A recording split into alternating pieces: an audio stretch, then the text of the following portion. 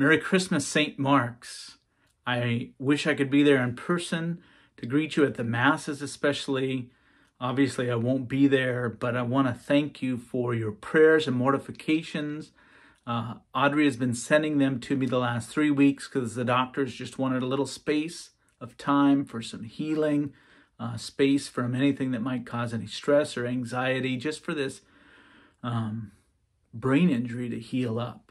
Um, things I think are looking better, and I can certainly see the improvements. The doctors certainly are very happy with the improvement. So thank you again for your prayers and mortifications. My thanks to the staff for their great work. Um, what just a wonderful team that we have with them, our clergy. Father Adrian, what a first year. Five months of your first year, and the pastor's gone.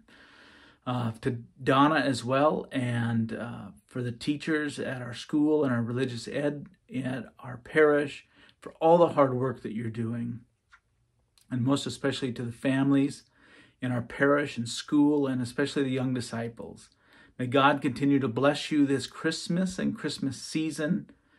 Uh, as you can see, I'm in my chapel. I have a two bedroom home that I live in, and one of the bedrooms I've converted into a chapel, and I have the Blessed Sacrament reserved here. I celebrate Mass daily here, and uh, it's really just a sanctuary for me to pray for you, to give thanks to God for the blessings each and every one of you are in my life as we continue our pilgrimage to life with God forever in heaven.